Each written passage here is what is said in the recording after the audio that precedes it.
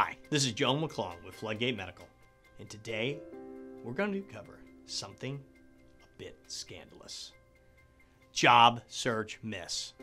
And we're going to debunk them. That's right, job seekers fall prey into believing these almost urban legends about how the job market works. And most of them, honestly, couldn't be farther from the truth. I'm tempted to get into the psychology of it all, but I'm sure you didn't sign up for a Ben Stein style B.F. Skinner lecture. So let's just dive into the top four search myths so we can prevent you from drinking that Kool Aid. Myth number one I'll get recruited just like I've always been. Just because you've had a history of being recruited doesn't mean it will happen again.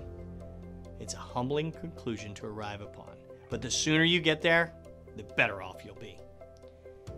Age and salary tend to have an inverse correlation with being recruited. Plainly put, as your experience, roles, and salaries increase, your chances of being recruited decrease. Not always, but often. Now, why? Because companies are a pyramid. There are fewer positions up top than at the bottom. Secondly, the more specialized your skills, the smaller the pool of opportunity. And odds that the timing of need, location, and opportunity align diminish exponentially. Once your mindset shifts, your whole strategy shifts. Instead of waiting for something to happen, you get out there and compete with resolve and wisdom. Two things your previously mentioned competitors are probably light on. The big takeaway here is you might not get recruited. Don't sit on your hands. Get moving today. Myth number two I've got several strong leads one of them will work out. We can't tell you how many times we've heard this. Here at Floodgate Medical, our average first line manager openings see approximately 200 applicants. We screen roughly 40 by phone and recommend four to six to our client for in person interviews. They hire one. That's a 0.5% chance. So, that's bad news. Here's the good news you can increase your odds by filling your pipeline. Never turn down a lead because you feel good about something else you've got lined up. If it's a reasonable opportunity, explore it before you reject it. You never know unless you give it a chance. The more job leads you have in your funnel, no matter where you are in the process with other opportunities, the better off you'll be.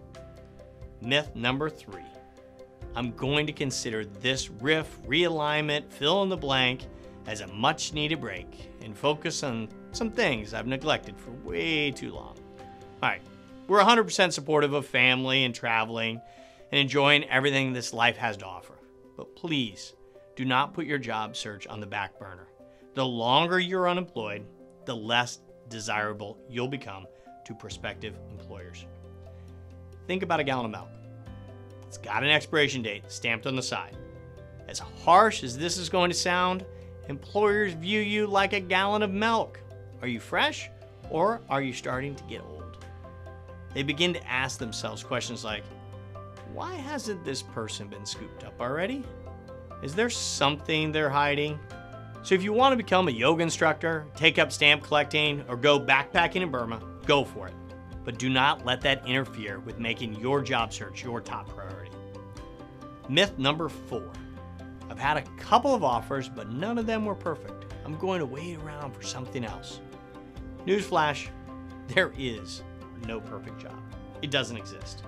If you're being overly selective, you need to adjust your mindset. We aren't suggesting you lower your standards.